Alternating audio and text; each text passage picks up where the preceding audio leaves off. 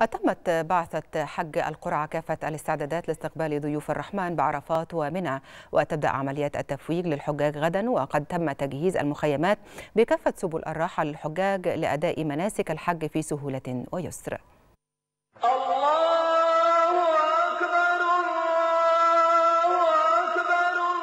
في اشتياق لاستقبال ضيوف الرحمن تزين صعيد عرفات واكتملت الاستعدادات قبل ساعات قليلة من الوقوف بهذا الصعيد الطاهر.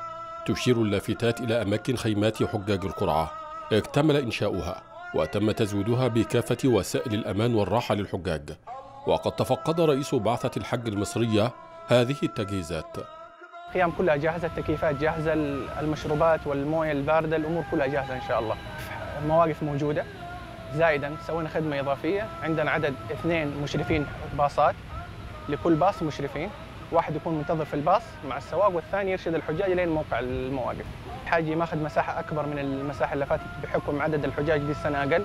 ففي إضافات جميلة إن شاء الله. تجهيز جميع المخيم بما يتناسب مع الحجاج وراحتهم. كما قمنا بتاميد بتوريد أكثر من يعني مصادر اللي هي التبريد الثلاجات والفريزرات والأمور دي كلها عشان تكون للحجاج.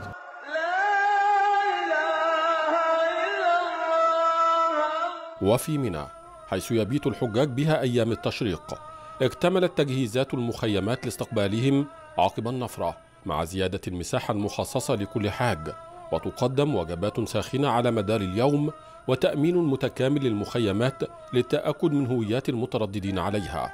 مع قربها من جسر الجمرات.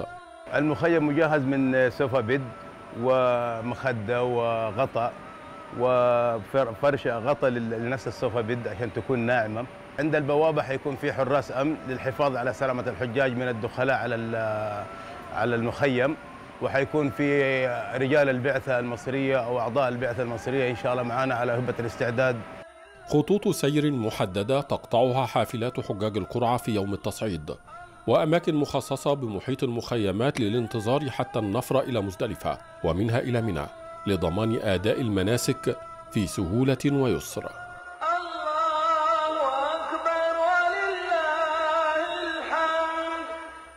نقف في رحاب عرفات الله وقد اكتملت استعدادات بعثة حج القرعة لاستقبال الحجاج. هذا الصعيد سيزدحم بعد ساعات قليلة بأكثر من مليون حاج من مختلف بقاع الأرض. ترتفع حناجرهم بالتلبية والدعاء والحمد طالبين المغفرة من الله عز وجل.